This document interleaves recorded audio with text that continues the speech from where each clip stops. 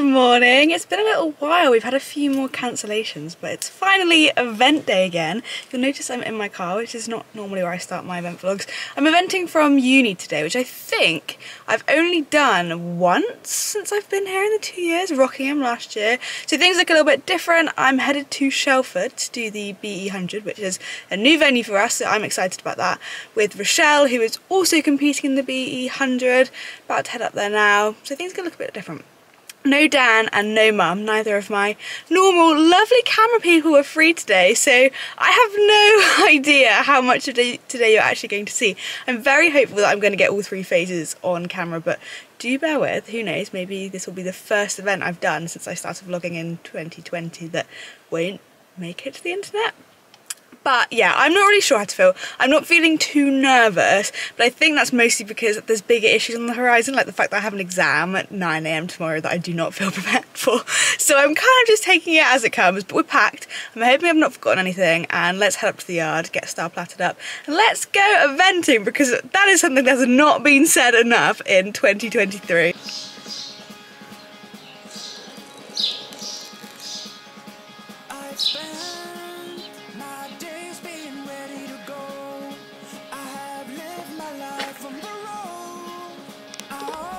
I bathed this pony last night. I cannot believe the state of this.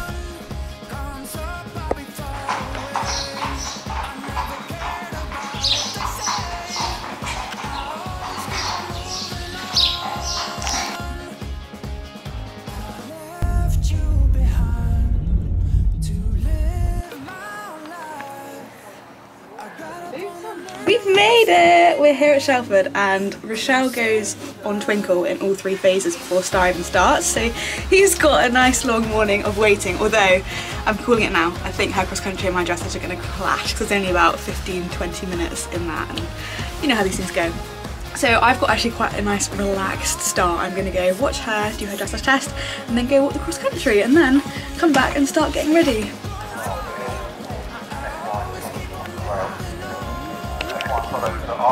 对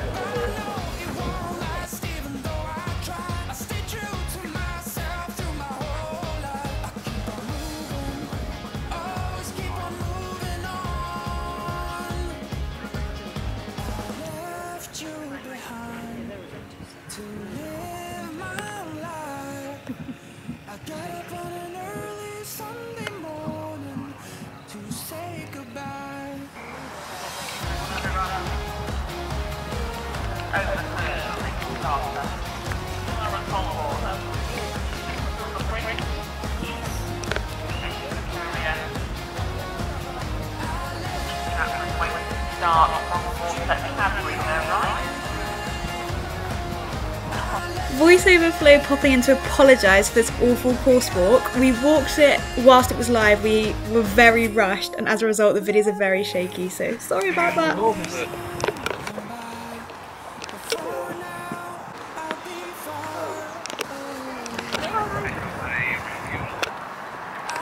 We are out walking the course at Shelford. It's lovely so far, very flat, which is giving perfect vibes for Star and I. We're at about fence 13 and it's a big table at fence 2. No combinations till fence 11, but yeah, hopefully it'll be good. Rochelle's done her dressage and then when we get back, I'm gonna start getting ready for mine. So it's all things go now.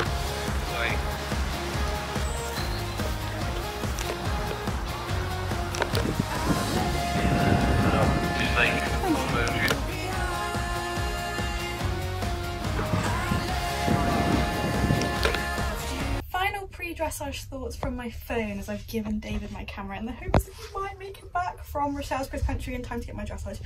I look like I've just been cross country, not like I'm just about to do dressage, but breathe. I am feeling, I'm feeling a little bit nervous. I was absolutely fine. And then obviously I've just walked the show jumping in the cross country in quick succession. We saw horse take a very unfortunate tumble in the cross country but I'm trying to sort of push that to the back of my mind. Dressage is up first and it's a nice enough test and the venue itself should suit Star.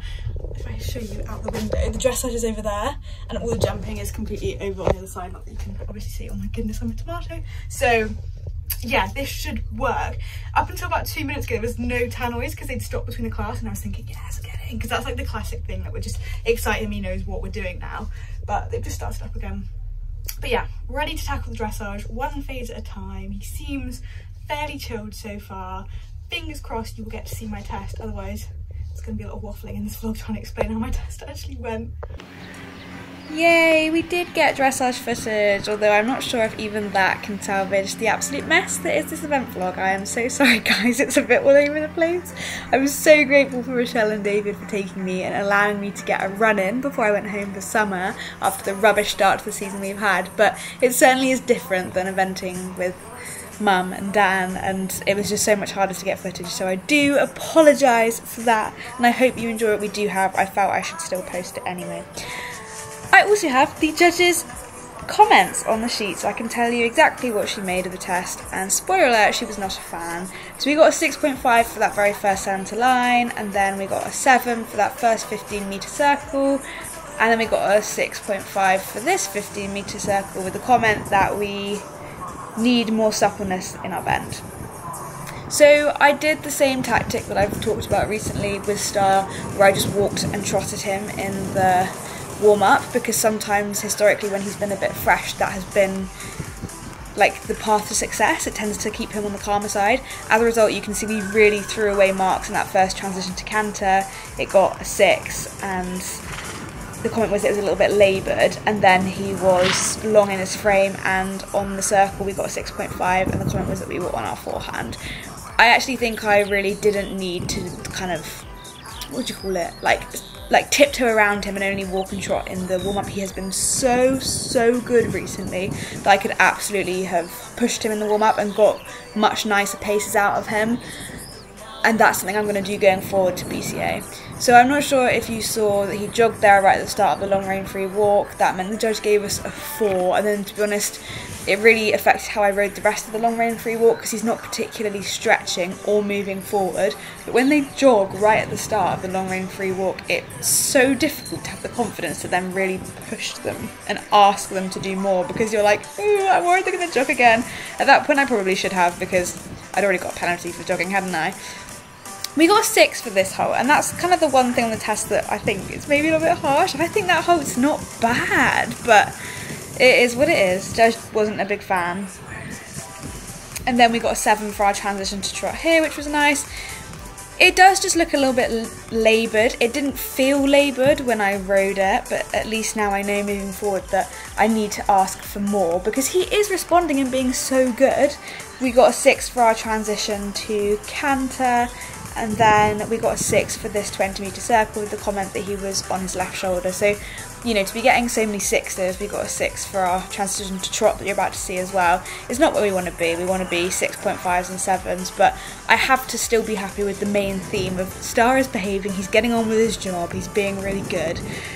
We got a 6 for the centre line and for the halt, which wasn't square. It wasn't as good as the last one. So, yeah, on the whole, not the most pleasing score, but she was a harsh judge, I should say that.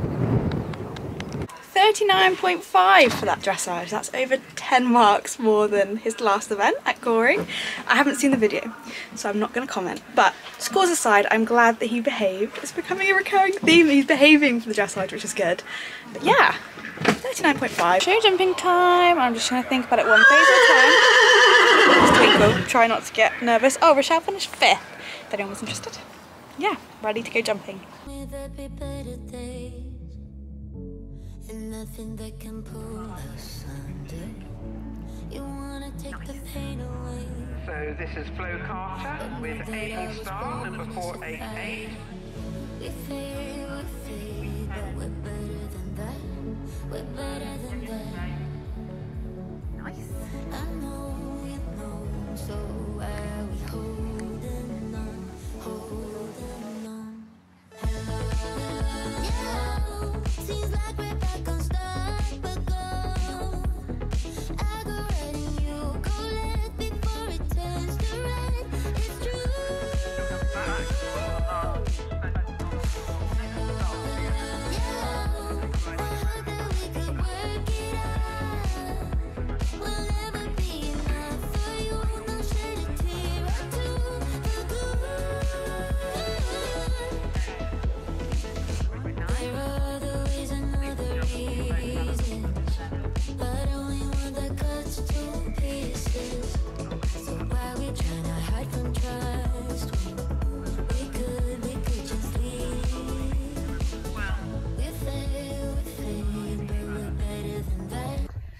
gosh, now I really do look warm. On paper, possibly not the best start to the day, 39.5 in a poll, but in practice, I've been really happy with both. I was so much more confident that show jumping round. I'm coming out of it like happy rather than the last two event vlogs where I've come out of the show jumping like holding back the tears. so happy. Gonna go straight up, yeah? One, two, that was worse. That was so bad. So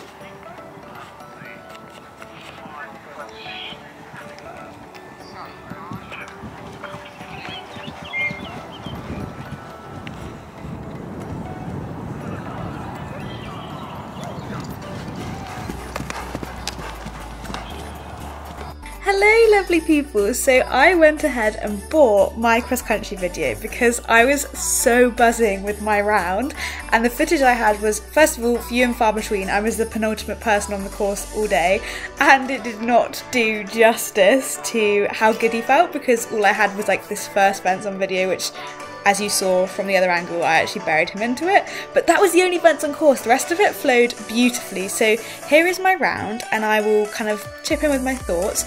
But on the whole, what I was so happy about was that throughout the round, I don't think it looks like I'm meddling much. And you know what I'm like? I am a meddler. But I just sat, I felt things, I let them come out of our stride, and I was so happy with how Star was. Here, it looks really funny because it's just a ditch by itself, but from where you came and where you were riding it, you couldn't see it because the ground was sloping slightly, so you really didn't have much notice. Like, you didn't know if the horse had locked onto it or not seen it, and that also doesn't do justice to the angle you had to come down and jump the fence on. So I was pretty pleased because I felt like we were getting into a nice rhythm early enough on. He was listening, he wasn't pulling because I have sometimes had issues with Star being a little bit strong. He's been a lot, lot better since he's been in his Waterford at the end of last season.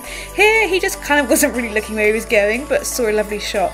These kind of hedgy fences are so nice to ride at because you feel like you can really attack them. That said, I don't think I really attacked this one that much, and as a result, a little, little bit close.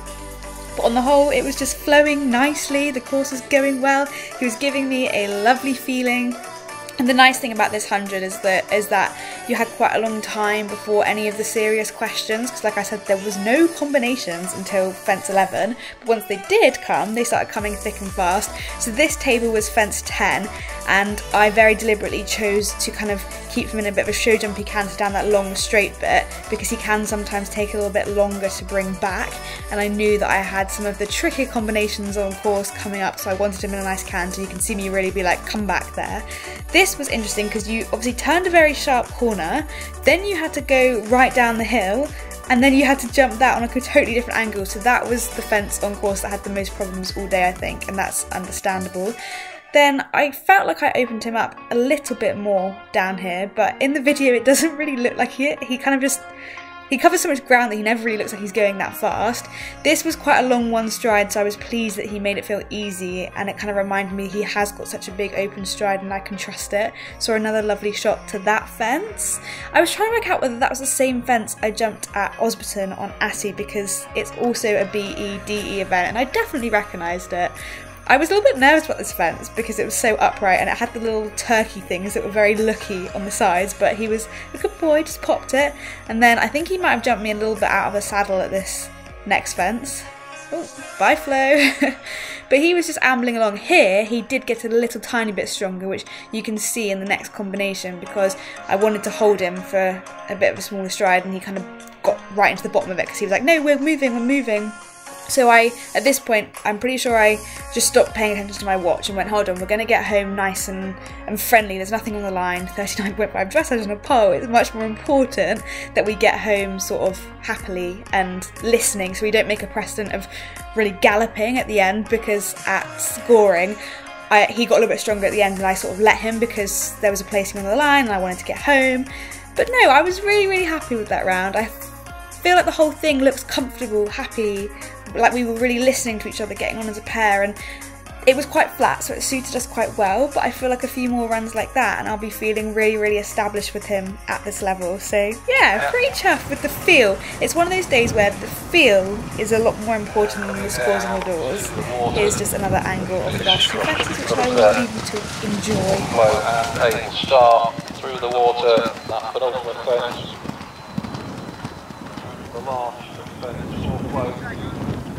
go. We made it home and I'm talking to you en route down to the field so you can see Star is very happy and right there is Twinkle who's also a very good girl. Sorry about today's vlog, I know it's probably one of my shorter and least exciting event vlogs.